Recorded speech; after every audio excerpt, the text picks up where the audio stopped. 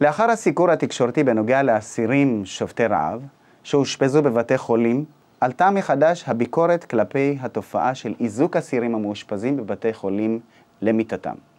מתי מותר לכבול אדם חולה למיטתו? ההחלטה על הזיקה היא החלטה של שירות בתי הסוהר. צריך להפעיל שיקול דעת לגבי מצבו של הבן אדם, מצבו הרפואי, אה, גילו, אה, אנשים קשישים, קטינים, אה, مقبلين تكبيلي بال... بال... على سرير المرض يعني او سرير اضراب على الطعام في المستشفيات المدنيه ل... لايام طويله انا كنت مكبل بايدي اليمين واجري الشمال وانا نايم بعدها استخرجت منظمة أطباء لحقوق الإنسان في تل أبيب ومنظمة الصليب الأحمر بضغط دولي يعني قرارات لتخفيف هذه القيود عني.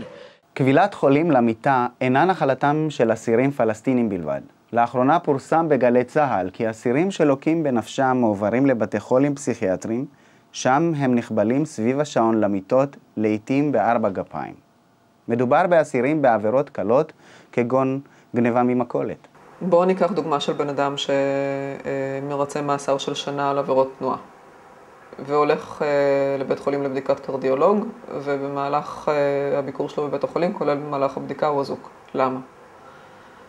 זה עבירות תנועה, הוא לא מהווה סכנה לציבור, נכון?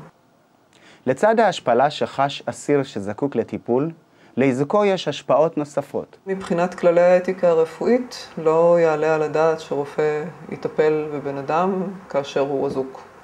זה פוגע באמון וביחסים בין uh, המטופל לרופאים שלו uh, ולמוסד הרפואי שנותן לו את הטיפול. זה גורם uh, לאסירים לסרב אשפוז. אה, בכל מיני מקרים אנשים מעדיפים לא להגיע לבית החולים בגלל אה, העניין הזה של איזוק שמבחינתם הוא בלתי נסבל, אם מבחינה פיזית ואם מבחינת ההשפלה.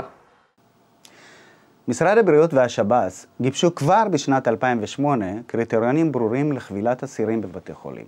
אך מסתבר שידם של השב"ס על העליונה וגם ידיהם של הרופאים כבולות והנוהל אינו מיושם.